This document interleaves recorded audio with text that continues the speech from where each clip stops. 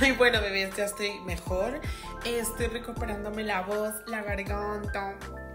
Estamos aquí recuperándonos por fin. Bueno, mis amores, les cuento que nos vamos a hacer las uñas, pero no sé qué nos vamos a hacer. Entonces vamos a hacer un invento y a ver qué sale. Ya he preparado todo. Me voy a hacer eh, las semipermanentes y no sé qué diseño me voy a hacer porque lo tengo que buscar por Pinterest.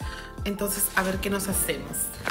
Bueno, vamos a arreglar las uñitas que las tengo asquerositas y estoy viendo un podcast que es paranormal y esta chica es como maricas que estudia la angelología, em, los hombres y toda esta huevada. ¡Ay, me gusta esta huevada! y pues nada, vamos a ver qué nos, qué nos hacemos, pues. Marica, yo le llamo las uñas creepy. O sea, miren, esta es la uña. Eh, esta uña es la uña psiquiátrica. Marica, qué miedo. Bueno, luego tenemos esta uña fumada. Luego tenemos la uña como diciendo, ¿qué está pasando aquí? La uña con sueño y la uña triste. Y pues nada, estas fueron mis uñas un poco raras que me he hecho, marico.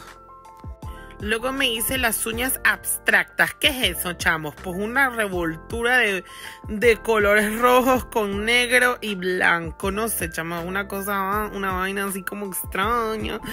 No sé, aparte se me salieron los colores por acá. Aquí me viene sangre. ¿Qué es esta mierda? Pues no sé, yo hice un invento, marica, y así me quedaron.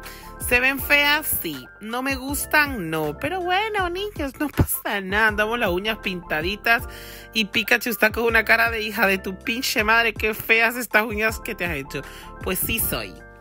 Ay, Dios mío, mis amores. Bueno, me escribe esta cosa extraña y asquerosa. Y me pone Samadiapla. Pues sí, porque tienes demonios metidos en el corto, maricona. Él me escribió por privado. No le respondí porque si tú me escribes y no te respondo es porque no me interesa. ¿Sabes? Entiéndelo, maricona. Bueno, y me pone: Cuando bajo mi nivel te haces la interesante.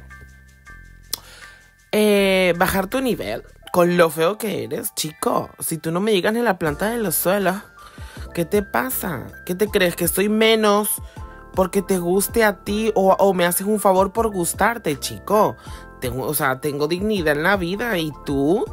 De verdad, o sea, ¿qué te crees? Brad Pitt, o sea, tú te has visto y no te expongo porque es que me da pereza exponer gente como tú, porque gente como tú hay un montón y da asco. Así que, bye, bloqueado por PR.